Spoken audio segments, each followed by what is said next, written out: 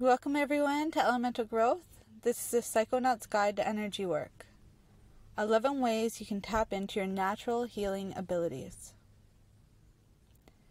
I can't believe that in two years writing at Sociedelic, I haven't wrote about energy work yet. But I guess I wasn't ready, or maybe selfishly holding back out of fear because some of what you'll find in today's video or in this teaching uh, may come across as hippy dippy or um, you know a little woohoo. But the truth is, well, what I'm about to share is a bit occultish, and you know it may be considered woohoo to some. It's also real. This stuff really works. Like Terence McKenna said, you don't have to pussyfoot around the real thing. So just take what resonates, experiment, and release anything not working for you so you can optimize on what what you know really does work, what is working for you specifically. It's become mainstream knowledge that everything is energy. What's more is that the human body consists of five layers of energy. The first layer is the physical body, but there are four other energy fields surrounding that, referred to collectively as a person's aura. Together, these five energy bodies comprise the human energy field. These layers are where our mental, physical, spiritual, and emotional data is stored. Energy medicine practitioners believe it's not enough to treat the physical body when people are ill. They can also often sense an illness come on before it manifests in the body, providing you, the client, uh, more time and the tools to prevent the onset. It takes someone with clairvoyant abilities to see the layers of your energy bodies, but psychedelics like MDMA and psilocybin can help. I also want to add that it doesn't even have to be a, psychedelic. You know, some people are born uh, with some of these abilities. Sometimes the onset is from a near death experience, sometimes it's a different psychoactive, a herb, uh, an experience, a, a trauma, a transformation of some sort. But regardless, you know, these are some tools that may help open up your third eye to visualization. The first time I saw someone's aura myself, I was working with MDMA. Energy workers train in not only sensing the energy, but helping their clients move negative energy out. People with these special abilities help their clients tap into their natural healing abilities. The five energy bodies include physical, etheric, like out in the ether, the emotional body, the mental body, and the spiritual body. According to ancient Eastern wisdom, these are layers of our being, sometimes known as koshas. Koshas. All yoga traditions talk about energy pathways. Some call them chakras, others meridians, nadis, or channels. These pathways are an intricate system within each of us where energy, life force, prana, or chi moves. It is said that 72,000 nadis and 114 chakras are moving energy through our system, our body. Energy, like water, should be moving to keep it fresh. When water is stagnant too long, it grows bacteria, stiffens things up, and in the body can cause many more ills too. There are seven major chakras, each in a specific location along your spine. I have linked the four elemental chakras because I have written on them before at elementalgrowth.org. But simply put, the seven major chakras are the root chakra, sacral chakra, solar plexus chakra, heart chakra, throat chakra, third eye chakra, and crown chakra, linked to transcendence. If a chakra is low in energy, you'll have difficulty expressing the particular qualities associated with that chakra. If a chakra is overactive, the qualities are a dominant force in the person's life. This can affect all of your energy bodies. In general, the location of the chakra that's out of balance may affect all parts of your being. This may include your organs, bones, joints, and tissues near that area or increase your risk for emotional imbalance, such as increased anger, sadness, fear, or indecisiveness.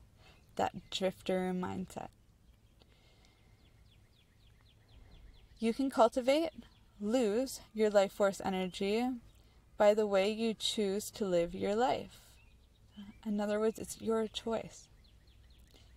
Your posture, plate, habits, mindset, activities, tribe, and attitude will allow you the opportunity to live your highest potential as human or lead to imbalance.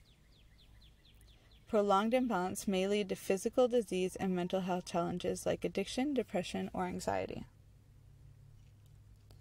Yoga postures are great for releasing stagnant energy. Breathing encourages the flow of energy, and meditation brings clarity to the mind. Intention, spelling, witchcraft, and psychedelics can all enhance your natural psychic abilities.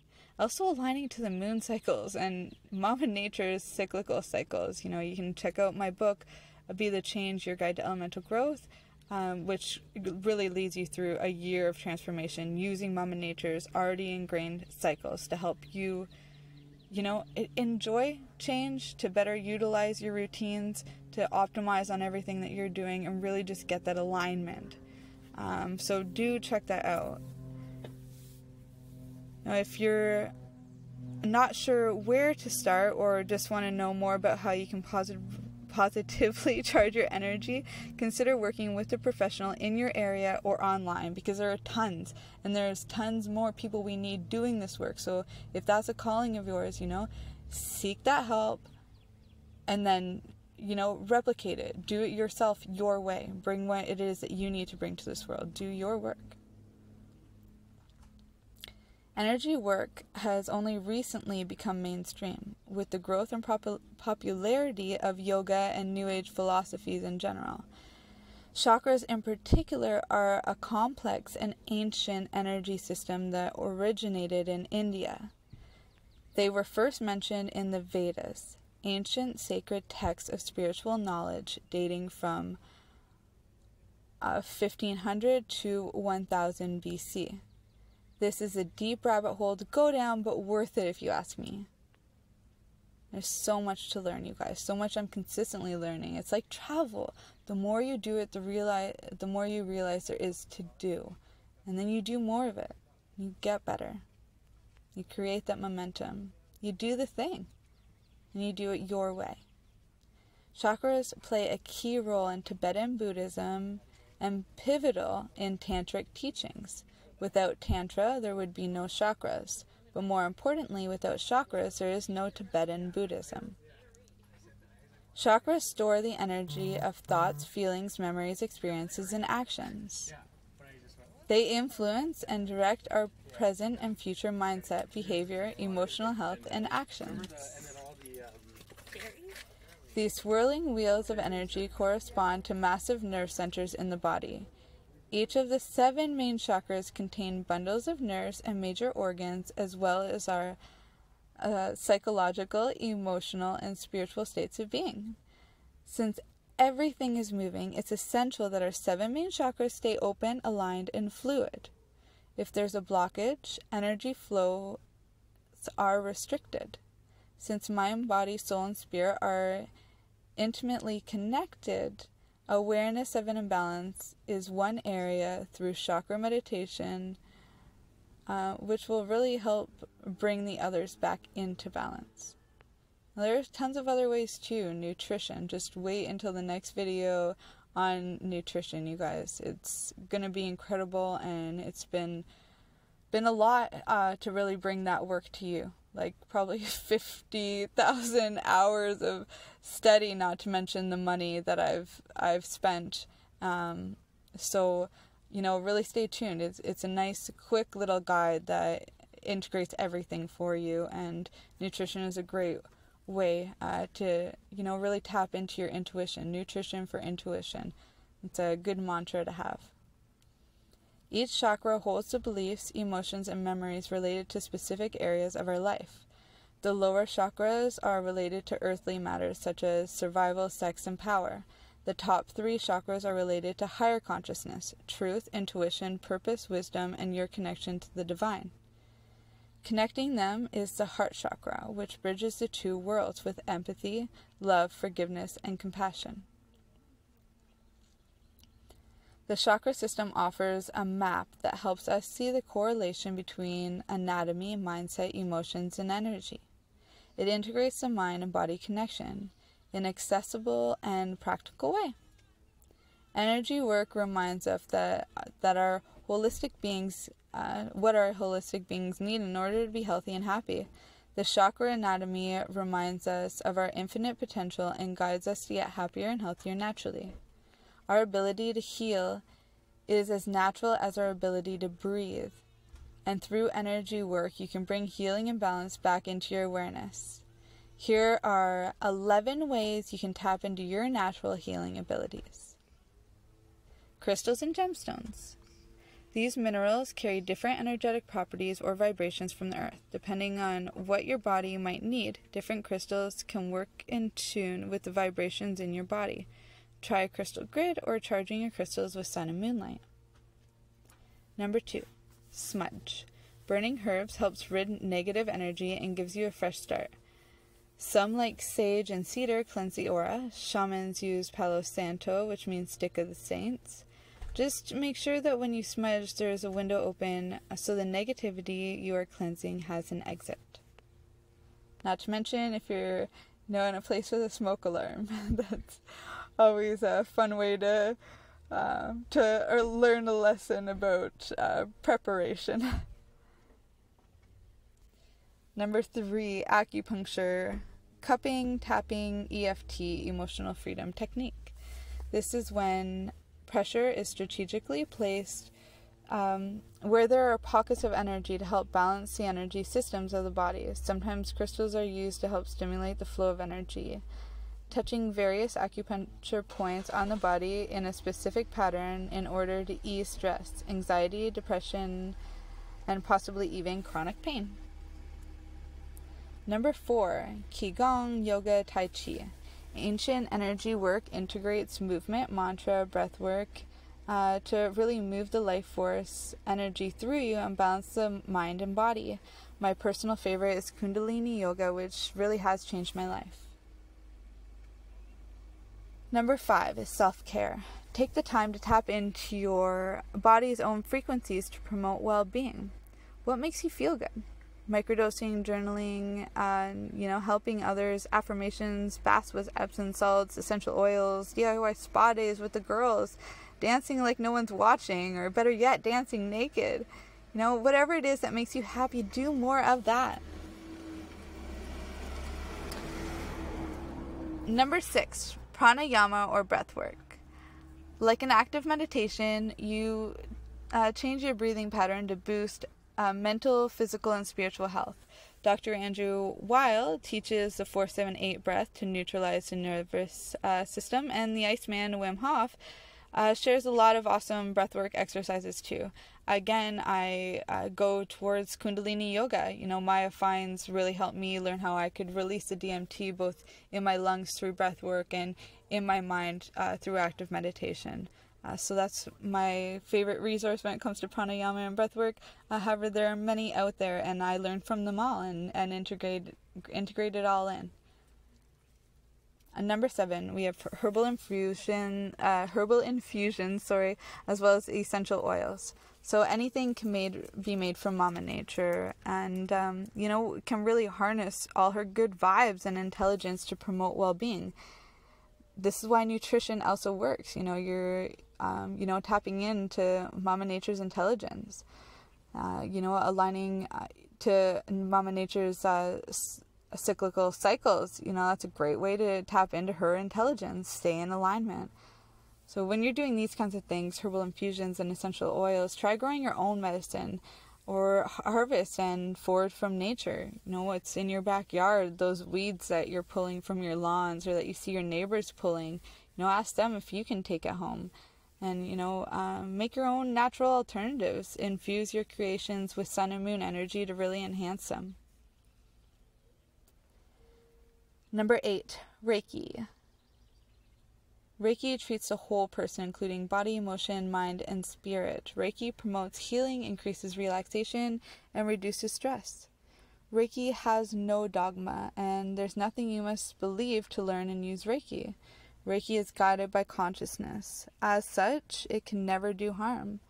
The recipient of Reiki must simply be willing to receive it. This is why I say to all you guys stay open. I'm sending distance Reiki. I do these ceremonies and you know I send them to all of you, but you have to be open to receive it. Uh, Reiki is recognized and used by professionals in hospitals today. This has been a great movement forward. Number nine, touch, hugs, and massage. You know, we may also include sex in here too. We're all touched, are all touch deprived, sorry. You know, we crave that touch. Even if we're in a loving relationship, you may not be touched in all the ways that you need. Or you're being maybe being touched in ways that, that is hurting you or harming you in some way. Touch is so fundamental and it is a human need. And when we're unable to touch each other in person, it's important to consider other ways we can touch the heart. Number 10, proper nutrition, Ayurvedic teachings. Now, this is and or, you know, you may not be on Ayurveda diet, maybe you're on something else, um, you know, maybe you're just eating whole foods, you're eating real food, you know, and, and saying hell no to all the fads, in which case, you know, I, I honor you no matter what you're doing and what you're choosing as long as you're making the choice consciously. I add in Ayurvedic teachings here because that's one of the originals you know, and this is one that is really great for healing.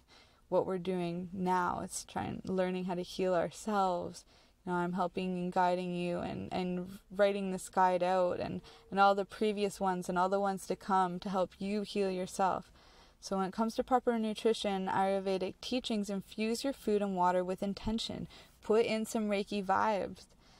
Now, each uh, colored food can be matched to each chakra and provide every cell in your body unique and essential nutrients. In all your colors. Eat the rainbow, not a package of Skittles. Eat the real whole food rainbow, something from every color each day. Now, this is a great teaching for kids too. Now, I, uh, I'm not sure if you guys are interested, but if you are, you have kids, or you just want a, a simple way to know this for yourself, I have uh, both a workbook and a coloring book on chakras and eating the rainbow. So send me a message, ashley at elementalgrowth.org, and I'll get that to you, okay? This is really important life stuff. Number 11, we've got psychedelics. Psychoactive substances that induce flow states can cause brain waves to shift towards alpha. Additionally, sustaining higher levels of serotonin. Psychedelics create an opportunity for our brains to make unique connections between areas that don't usually communicate, allowing you the opportunity to heal all parts of your being. At some points in our lives, most of us have likely experienced some kind of energy work or awakening of where your mental state is fully immersed in a feeling of energized focus, presence, involvement, and enjoyment in the process of an activity. These can be the surfer effortlessly, effortlessly riding a big wave, the coach gracefully guiding their group, or the yogi who wholeheartedly moves through their practice. Simply put, quality energy flow is one of great experiences of one of the greatest experiences. Like this is this is what it means to be a human being. Blockages are an indicator of illness. Problems always show up in the energetic field first. Let's say you're feeling lazy and crazy but have tons you plan to do in one day. Energy work allows us to step back and access our chakras so that we can adjust and learn from the experience, so that we can live a happy and healthy life naturally. If you're passionate about self healing with natural alternatives like energy work and psychedelics, then let's connect. You know, I'm sure we have a lot in common here. So just send me a message, as I said, ashley at elementalgrowth.org, and begin your elemental growth journey. Send you all much love and positivity. Goodbye.